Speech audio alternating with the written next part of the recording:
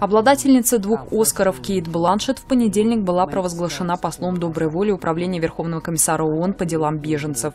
Об этом объявили после того, как знаменитая голливудская актриса вернулась из поездки в лагерь для сирийских беженцев в Иордании. Там Бланшет оценила текущую гуманитарную операцию, а также пообщалась с семьями.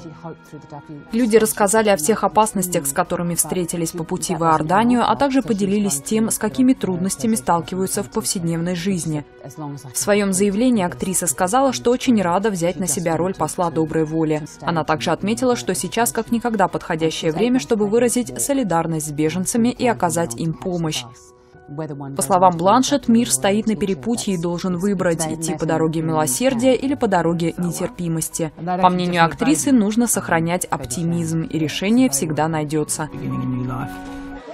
До своего назначения актриса в течение года сотрудничала с УВКБ ООН и информировала общественность о положении людей, вынужденных покинуть свои дома. В прошлом году она побывала в Ливане, где встретилась с сирийскими беженцами и послушала их истории. Верховный комиссар ООН по делам беженцев Филиппа Гранди поздравил Бланшет с ее новой ролью, а также выразил надежду, что к этой миссии присоединятся и другие публичные люди.